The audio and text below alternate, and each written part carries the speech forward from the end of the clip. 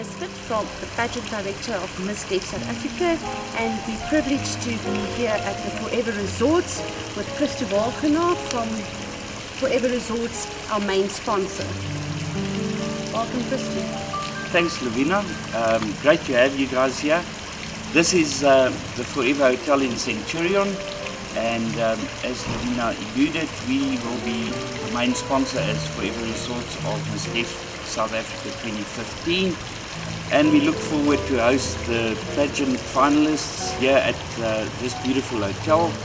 Uh, it oozes serenity here in Centurion and um, then the, the, crowning will take place on uh, the 2nd of October at the Barnyard Theatre in Parkview but also on the 1st of October we host our annual corporate social responsibility golf day at Blue Valley and uh, we'd love to have the 12 finalists there to share the day with us.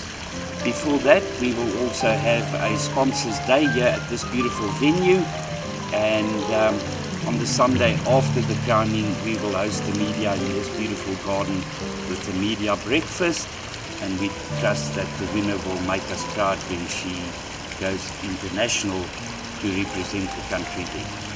From Forever Resort site, 21 um, hotels, lodges, resorts and retreats and um, we see this as a contribution as part of our corporate social uh, initiatives and uh, be glad to support you and good luck with the pageant. Thank you, Christo. You're welcome.